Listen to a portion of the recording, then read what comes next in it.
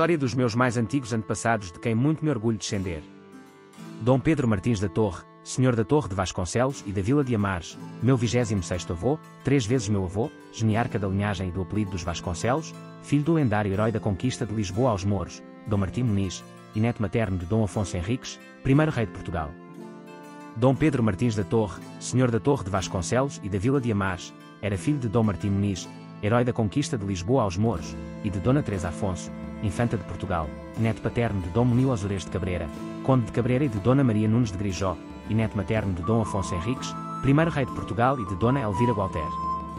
Dom Pedro Martins da Torre de Vasconcelos foi um nobre português, senhor da Torre de Vasconcelos e da Vila de Amares, filho do lendário herói da conquista de Lisboa aos Mouros, Dom Martim Muniz. Esta torre, que tinha sido pertença da Ordem dos Templários, foi o solar dos Vasconcelos, que daí retiraram o apelido. Encontra-se localizada perto do lugar de Vasconcelos, na freguesia de Ferreiros, Braga, no Conselho de Amares e Distrito de Braga. A Torre de Vasconcelos.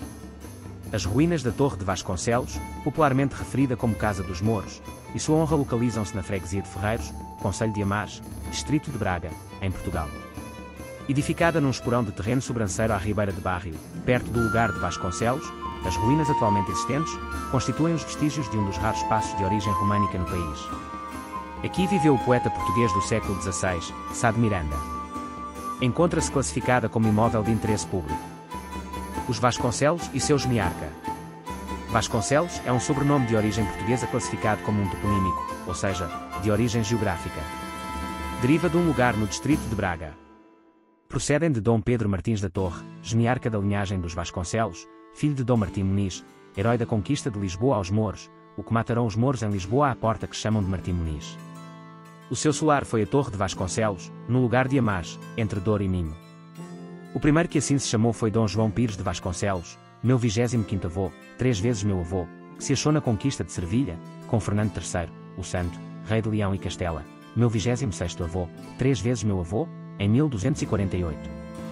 Linhagem das mais ilustres de Portugal, que descende dos reis de Leão por Dom Fruela, que teve os reinos de Leão e das Astúrias e foi casado com Dona Nenila Jiménez, sua prima, filha de Sancho Garcês, rei de Navarra, e de sua mulher Dona Toda de Aragão, de quem nasceu o infante Ordonho, o cego, assim chamado por seu primo o rei Ramiro II de haver mandado tirar os olhos, a fim de lhe suceder no reino, qual casou com a infanta Cristina filha de Bermudo II, rei de Leão.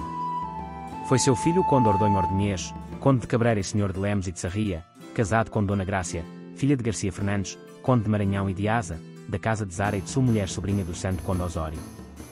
Deste casamento nasceu o conde Garcia Ordonhês, senhor de Asa, que se recebeu com a infanta Urraca filha do rei de Navarra, Garcia Sanches e de sua mulher, Estevania de Barcelona que tiveram Osório Garcia, conde de Cabreira Ribeira, o qual contraiu matrimónio com Sancha Muniz filha de Moninho Fernandes, senhor da cidade de Douro, filho do rei Fernando o Magno, de Leão e Castela, chamado Imperador. Este Osório Garcia que foi marinho-mor da Galiza, pelos anos de 822, veio povoar Portugal reinando Ramiro de Leão e ganhou a Batalha de Clavijo. Família e descendência Dom Pedro Martins da Torre de Vasconcelos casou com Dona Teresa Soares da Silva, minha 26ª avó, três vezes minha avó, filha de Dom Soares Pires da Silva, e de Dona Froilho Viegas Lanhoso, de quem teve dois filhos. Dom João Pérez de Vasconcelos, o terreiro, casou com Dona Maria Soares Coelho, meus 25 avós, três vezes meus avós, filha de Soeiro Viegas Coelho e de Dona Mor Mendes de Gandarém. Dona Sancha Pérez de Vasconcelos, que casou por duas vezes, a primeira com Dom Mendo Afonso e a segunda com Dom João Gomes Barreto.